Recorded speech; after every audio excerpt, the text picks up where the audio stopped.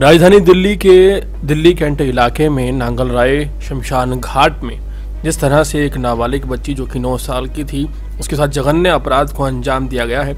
इसके बाद सभी में गुस्सा फूटा है और लगातार धरना स्थल पर अलग अलग पार्टी के मंत्री पहुँच रहे हैं और नेता आ रहे हैं। हाल ही में राहुल गांधी वहाँ पहुँचे थे और उन्होंने परिवार से मुलाकात की थी और न्याय के लिए लड़ने की बात कही थी। वहीं अब बीजेपी दिल्ली के अध्यक्ष आदेश गुप्ता वहाँ पहुँचे हैं और बीजेपी के अध्यक्ष आदेश गुप्ता ने परिवार से मुलाकात की है, उन्हें सांत्वना दी है और साथ ही साथ एक बड़ी बात कही है। उन्होंने कहा है कि ये पूरा केस फास्ट ट्रैक कोर्ट में चलाया जाएगा और छः महीने के अंदर इनको फांसी दी जाएगी। इसकी पूरी कोशिश करेंगे।